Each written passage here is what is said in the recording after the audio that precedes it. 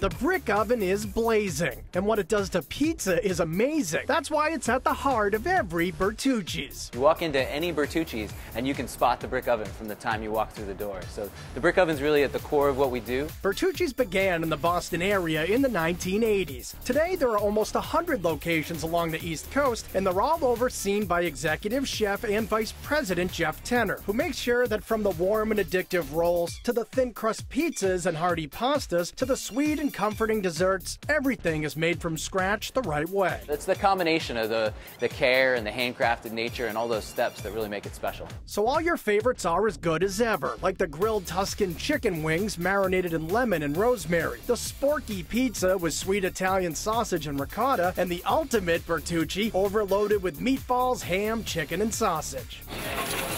And Chef Jeff has also created plenty of new items to keep things fresh. There's a selection of small plates made for sharing and a variety of pizzas made on multi-grain dough, all designed to taste great and make customers feel like they're guests in Jeff's kitchen. Whenever you have a party, whenever uh, you're home, the kitchen always becomes that hub, and so that's what my life is like. It's that opportunity to always be in the, you know, in that the heart of the house, in that center of, of where things happen. And, you, know, you, you, never go hungry. You always have friends. Just being around food uh, every day is a, is a really great thing.